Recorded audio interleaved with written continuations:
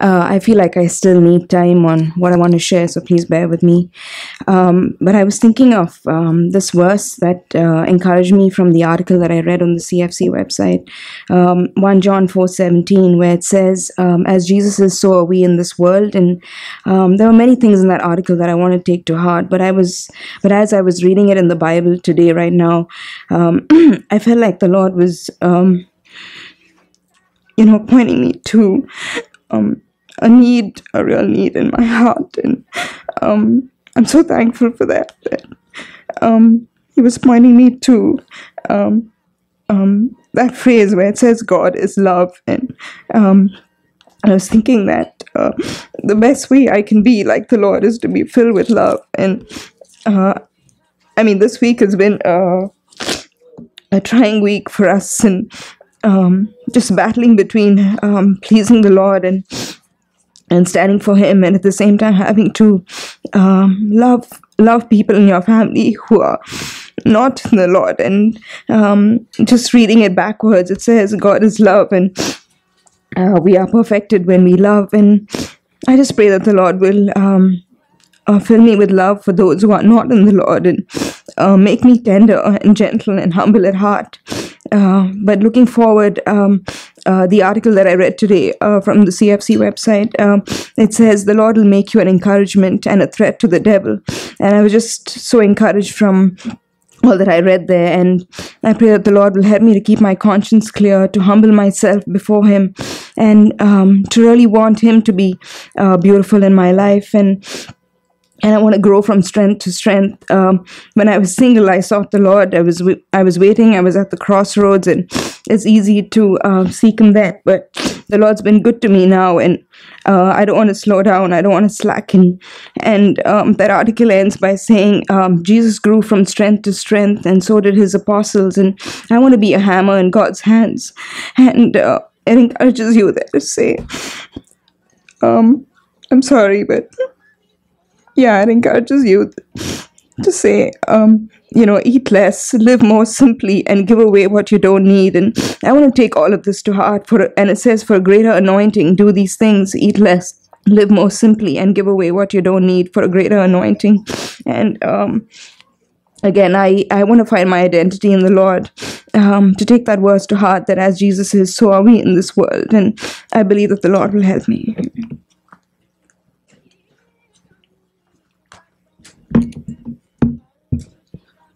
Good morning, guys. Uh, I was blessed by this verse uh, this week in Luke chapter 21, verse 34. Uh, it says here, Be on your guard um, so that your hearts will not be weighed down with dissipation and drunkenness and the worries of life, and that they will not come on you suddenly like a trap. Uh, the thing that spoke to me was uh, that I shouldn't allow the worries of this life to weigh my heart down. I've noticed that if I allow that to happen, then I lose my focus and I uh, won't have uh, the time for studying God's word or to seek His kingdom. Uh, in in context of this, I was blessed to see David's response to different circumstances in his own life. Uh, if you turn to Psalm 119, verse 95, uh, it says here um, that David uh, says here that the wicked wait for me to destroy me, I shall diligently consider your testimonies. You know, David was uh, someone who involved in battles all his life, and you know, you know, he saw people lying in wait to take down his life. Instead of you know focusing on the issue at hand, instead of trying to uh, come up with strategies to preserve himself, his response was, "I'm not gonna focus on that. Instead, I'm gonna focus on God's word. I'm gonna consider God's word diligently." And you see the same uh, response in a different verse in 143 of the same chapter. Uh, it says trouble and anguish have come upon me yet your commandments are my delight. Again it says in verse 23 um, even though princes sit and talk against me your servant meditates on your statutes. No matter what situation life uh, you know threw up before uh, david David always had one response. I'm going to ensure that I stay focused on studying God's word, I stay focused on meditating God's word. and that's something that spoke to me this week that i shouldn't allow any worries or cares of this life to weigh my heart down but i should constantly seek to get back go back to his word and study his word. Thanks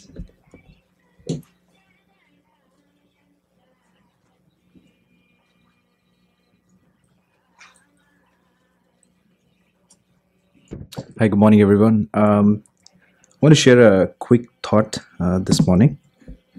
Um, Jesus said in Luke nine twenty three, um, "If any of, if any one of you wants to be my follower, you must give up your own way, take up your cross daily, and follow me." Um, I heard so much recently about denying self, and the more I heard it, the more I got confused. I um, was asking Lord how to recognize myself.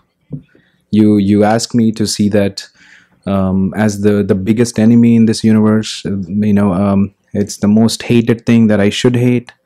But how how can I see myself where it is such a hateful thing? And a few things came to my mind um, as I look back in in my own life in 2016. It's it's almost like uh, myself is in the sh- stealth mode and during the time of temptation and trial it comes out. And i can see it. Until then there is uh, some confusion. Things are going okay. Or i read the word of god and i see this uneasiness in me that i don't want to do it. I don't want to go and apologize or i don't want to um, correct things. Myself is is is stretching its muscles and and becoming very strong. So i have seen that in my own life that there are times especially test and temptation where it is more clearer that our self is against god. It's an enemy of god. At such times i want to run to god into his presence. And in the process uh, as we read or heard so many times that our, se- our self will have to be crushed. It had the sword has to fall on ourself and uh, when it does then we, we meet jesus. So in that most difficult stage when uh, i am feeling uh, irritated or frustrated or myself i'm seeing this wicked self i have to run to god. And the beautiful thing that god is giving us is he will give himself. We will know him. And uh, also knowing jesus um, for the most part has been a head knowledge in 2016 in some areas in some areas god has make it life.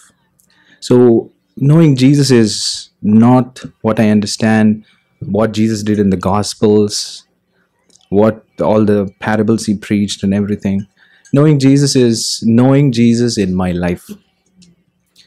Am i seeing jesus life being true in different areas in my life? Some areas are measurable some areas are not uh, it's very difficult. So i'm asking god lord in this year 2017 um, i want to follow you.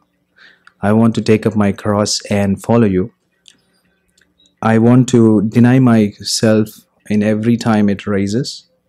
And i want to go into his secret presence and receive god and jesus. And then i want to bear fruit for jesus. I don't want to just say uh, to myself more than anybody else that I don't want to deceive myself saying I know I'm knowing Jesus and I'm not seeing fruits in my life. Knowing Jesus, it's indispensable that the fruits are evident. And if I'm not seeing fruits in my own life, then I have to question myself, Lord, uh, um, do I really know you?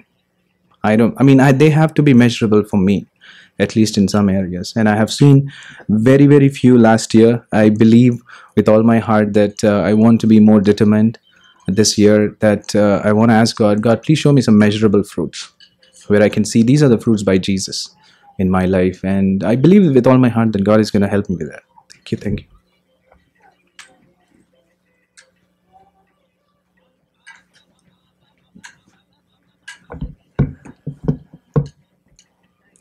Good morning.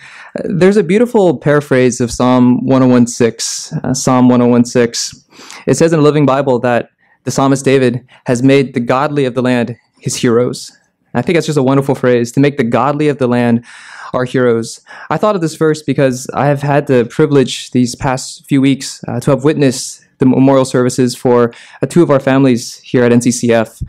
And what really touched me about these services was that these were men who had made their lives completely for God and they made their lives count for God. And that for me was a tremendous challenge. And I was thinking about the lives of these men and I was thinking, well, what was one thing that was in common for these people? Because they were com- two completely different parts of the world, completely different cultures, yet they made their lives count for God. And I'm sure there's many reasons, but the reason that, but the one thing that spoke up to me the most was that these people had a genuine care for God's people, and not just their physical being, but for their spiritual uh, well-being. I remember hearing in one memorial service how one person was sick, and even though this person was sick, he would still call the different brothers at church just to see how they're doing and and try to encourage them. And then at another memorial service, I heard just people come up time and time again saying how much of this person has been a light and has been a guide to uh, to their lives, and this really challenge me. And how am I going to apply this to my life? Well, I realized that for me to be able to come to this church, it's been a tremendous privilege. It's a tremendous privilege to hear many of the, the truths that we get to hear here at NCCF. And sometimes I wonder, well, God, you know, I, I know a lot of this stuff now. Why can't I go around and, and share a bit more with, with other people? Why don't I have more opportunities to go share the things I've learned here with those outside? Even in the Bay Area alone, there's, there's plenty of need. And one thing I feel that God's been teaching me in the season is to make sure um, that I have a love for God's people first before I start going out and, and telling people things. Sometimes I look at my Christian life and it feels like, if I had to use a picture that Brother Zac said, it's kind of like a skeleton. So all my bones are there. I have all, I've been in the church for six years and I know a lot of the, you know, key truths and bones and stuff. So it's it's, it's, skeleton. It's, you can see it, um, but there's just a little bit of skin over it. And sometimes I feel God saying, "I can't send a skeleton out to talk to people because you'll scare everyone away." And that's really how I see my Christian life uh, sometimes. And I feel like 2017, one of my goals for this year is to put on some weight, uh, spiritually speaking, and to put on some flesh uh, on these bones, because then that way it'll be presentable to to other people. And I wanted to end with an encouragement for this. This is in 1 John 4 7. This is 1 John 4 7. It says that, Beloved, let us love one another, for love is from God, and everyone who loves is born of God and knows God. And I love that phrase, for love is from God. I think one of the pressures that I give myself sometimes is, oh, now I have to go manufacture this love. I have to go somehow develop this love. But I really like this phrase because it says that for love is from God. And it just gives me tremendous confidence going into 2017 that if I ask God, Lord, give me the love that you have for your people, give me the burden that you have for your church, He will give it. And He won't give simply a spoonful, but He'll give it to me more than all that I ask or think. I know this is 100% true because this is part of God's will for all of us. Um, so this gives me a lot of encouragement for uh, 2017, and I hope to, again, put on a little bit more weight spiritually uh, this this year. Thank you.